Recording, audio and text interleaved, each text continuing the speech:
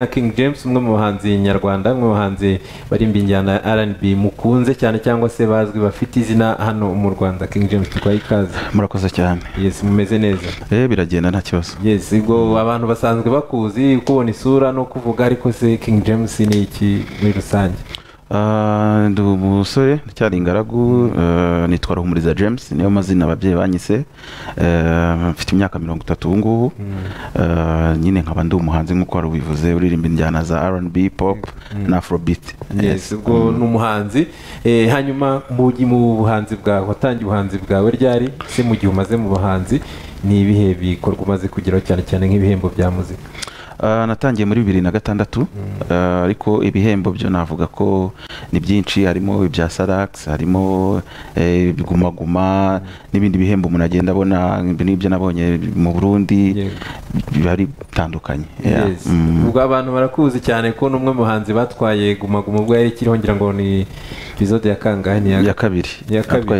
Atwaye ya kabiri. Mm. hanyuma turi isi yose ihanganye n'indwara ya covid cumi n'icyenda yaba hano mu rwanda cyangwa se no ku isi yose Mm. mwebwe nk'abahanzi ibi bihe bya covid cumi n'icyenda mu gihe nk'abahanzi ahantu wenda umuziki wanyu uba usaba guhuriza hamwe abantu kandi tukaba tuzi ko bitemewe Yego. mubayeho gute muri ibi bihe bya covid cumi n'icyenda Eh, navuga ko bitoroshye kuko nyine akazi kacu navuga ko kahagaze. Eh, ingaruka zatugezeho ari nyinshi cyane kandi n'ubundi biragaragara ko hakiri igihe kugira ngo birangire. Navuga ko rero turi gushaka uburyo twajya dukora ibitaramo wenda kuri youtube mu buryo bwa online kugira ngo turebe ko nyine twakomeza kuguma contact n'abafana bacu. Hanyuma nkamwe wenda mwubatse izina wenda igihe umaze mu muziki bishobora kuba wenda uburyo byakuguyemo atari ko byagoye abandi bahanzi. Wabigereranya gute? Bishobora kuba byarabagoye ku kigero kimwe cyangwa se hari abo byagoye cyane. Nawe natubwire ku ruhare rwawe. Ntabwo navuga ko byatugoye ku rugero rumwe bitewe yenda n'ibindi nkora ku ruhande. Eh, so navuga ko rero ntabwo navuga ko byangoye cyane. Bo- birumvikana burya umuziki nubwo tuwukora ukaba ari akazi nyine ukunda kuba wayakora ugakorera n'amafaranga. Ariko buriya tuba tunashaka no kuririmbira abantu muri rusange kubona abantu ukabaririmbira bakishima. Niho hantu wenda navuga ha- hahungabanye cyane. Yego. Hanyuma uvuze ku kintu cy'amafaranga hari ukuntu twigeze twagiye twumva bamwe mu ba- bahanzi bavuga ati wenda na leta niba binashoboka natwe izatwibuke mu bantu ishobora kuba yafasha. Mu gihe ahandi mu bindi bihugu ahubwo ari bwo abahanzi ari bo baza bakaba banegera abaturage kubatira reka mfatane runaka ngembe nagira icyo mbagenera. Icyo kintu kuki mu rwanda iki kintu kitarabashwa kugeraho? Ah, birumvikana ko bi- bisobanuye ko nta bushobozi nyine dufite muri mu buryo bwa muzika. Nta mafaranga arimo ku buryo ushobora kuba ku buryo abahanzi nyine bashobora kuba bafata iyo inisiyative yo gufasha ko ahubwo nabo bakeneye ubufasha. Eh, so urumva rero ahubwo nyine baza ko ari cyo kintu na leta bigomba guhita ibona ikabona ko hakwiye gushyirwa ingufu kuko ni ikintu cyiza gishimisha abantu muri rusange ariko kidatezwa imbere cyangwa kidafite aho eh, gihagaze ku buryo wavuga ko ari abantu nyine bafite amafaranga ndumva ari uko mbyumva. Aya. hanyuma ubwo uruhare rwanyu rero mwebwe cyangwa se mu gihe abafana nubwo gahunda zo kuba mwabona n'abafana cyane cyane mu bitaramo ubwo tugendeye ku bitaramo muteganya iki none? Kuko numvise indirimbo murimo murazisohora murateganya iki? Ah, icyo duteganya ni ugutegereza. Eh, noneho nk'uko nari mbivuze no gutangira gushaka uburyo twajya dukora nyine ibitaramo eh, kuri youtube. Eh, so ni- ni- niyo nzira yonyine ubu ngubu dufite.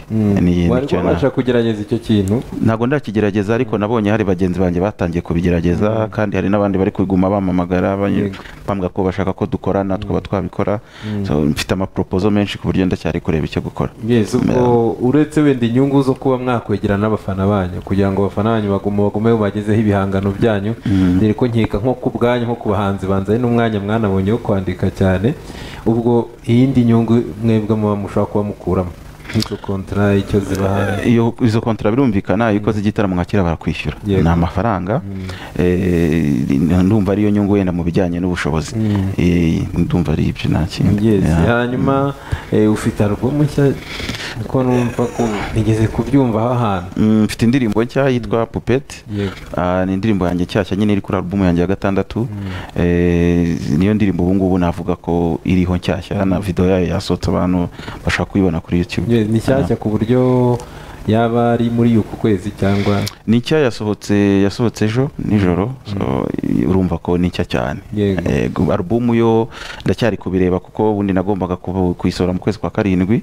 Ah, ariko urabona ko mu bigaragara ntabwo bizashoboka biragoye. So ubwo urumva rero ndi kureba uburyo bundi nabikoramo niba nakora nk'icyo gitaramo twari tuvuze niba se nasohora izo ndirimbo nyine abantu bakazumva zose za alubumu ndacyari nyine kureba uburyo bwo kubikora kugira ngo bitange umusaruro. Hanyuma nk'umuhanzi uri nk'umuhanzi w'abasiniya umuntu yavuga bafite izina ngira ngo umuntu agiye kureba bamwe mu bahanzi bubatse izina mu rwanda wajya muri nko muri batanu ba mbere ushobora kuba wazamo. Hanyuma ni uruhe ruhare rwanyu mushobora kuba wenda cyangwa hari ikintu mwaba muri gutekereza mu rwego rwo gufasha leta gukangurira abantu kwirinda indwara ya covid cumi n'icyenda? Uruhare rwanyu mushobora kuba mwavuga muti uru ni rwo ruhare rwacu. Ku buryo urabizi ko ino ndwara ngira ngo umunsi tuzaba twatsinze ino ndwara hazabaho buri muntu kuvuga ati twe twakoze ibi twakoze ibi." nk'umuziki muri rusange. Uruhare rwanyu ni uruhe muri Uh, uruhare rwacu ni ugukomeza gukangurira abantu n'ubundi kuguma eh, kwirinda korona Eh, nabonye bagenzi banjye hari video bakoze hari indirimbo bakoze indirimbo nziza cyane ika- ishishikariza abantu nyine ku eh, kuguma gukaraba intoki. Se yari amabwiriza yose ya minisiteri y'ubuzima. So navuga ko rero ni ikintu cyiza ni rwo ruhare rwacu gukomeza gukora ubukangurambaga kugira ngo nyine abantu barusheho ku- kuyirinda. Hanyuma mwebwe murebye musanga murabishyira mu bikorwa ku buryo n'umuntu yaza akabareberaho.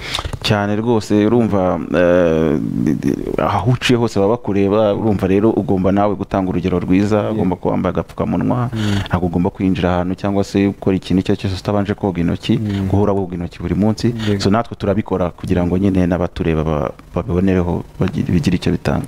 Reka ngushime umwanya uduhaye muri aya makuru yacu ariko mbere y'uko wenda tunasoza iyo ndirimbo pupete abantu badashaka kubaza wadukiniramo akantu gatoya cyane? Wenda tunasoza.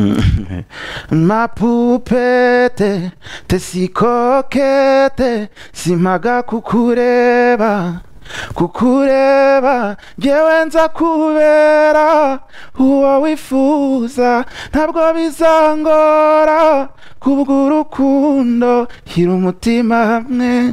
Murakoze cyane ndumva ishobora kuba iryoshye cyane. Mwakoze namwe ubwo rero nshishikariza abantu kuba bajya umuntu yayisanga kuri Eh, kuri youtube kuri youtube channel yanjye yitwa king james rwanda. Yego. yego urakoze cyane ubwo n'ikindi gihe tuzagukenera muri studio za biteni cyane cyane mu gisata cy'amakuru. Twizere ko tuzababona. Mwakoze namwe kunyakira kandi nzaboneka reka mbashimire rero reka dukomeze n'amakuru mu kanya.